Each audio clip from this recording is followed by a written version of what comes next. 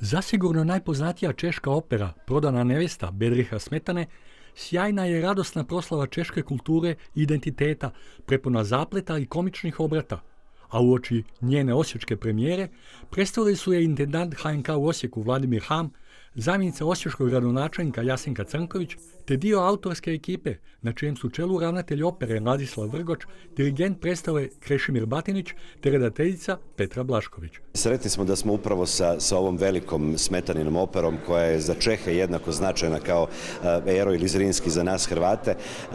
Dakle, završavamo sezonu jer ovo je isto jedan veliki komad za naš repertoar koji će sasvim sigurno godinama biti gledan. To je uvijek nešto što i škole traže u svom nekakvom repertoaru to je nešto što naša publika uvijek e, voli gledati jer je to e, prpošno, pomalo folkloristički, dakle i mislim da, da evo, imamo ponovno pun pogodak. Smetanina prodana nevjesta ima i svoj vrlo zanimljiv povijesni značaj za Osječku kazališnu kuću. Drago nam je da imamo još jednu premijeru, premijera Smetanine opere, e, zapravo prodana nevjesta, koja je vrlo, vrlo rado viđana u našem Hrvatskom narodnom kazalištu, obzirom da je zadnji puta prikazana, premijerno prikazana još 1997. godine te je izvedena 200, punih 250 puta u našem Hrvatskom narodnom kazalištu.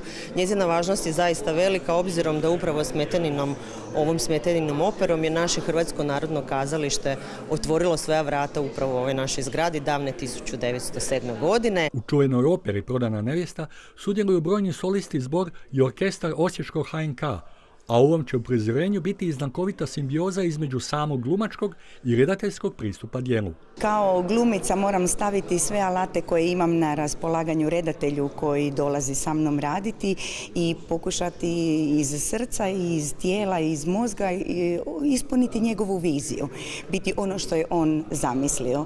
Dok kada režiram moram sve ljude uvući u svoj svijet i zapravo mi pomaže kad sam glumica jer vidim koliko je nekada teško mogu razumjeti zašto ljudi od početka možda neki ne vjeruju u tu viziju, imaju neke poteškoće ili otpore. To je sve normalno i to znam kako je kad redatelj sa mnom radi kao glumicom koja mislim da bi nešto trebalo ovako ili onako. Ali se uvijek pokaže da redatelj je taj koji dolazi sa cijelom pričom u glavi. Komična opera u tri čina Prodana nevjesta bit će premjerno izvedena u Osječkom HNK-u u petak s početkom u 20 sati.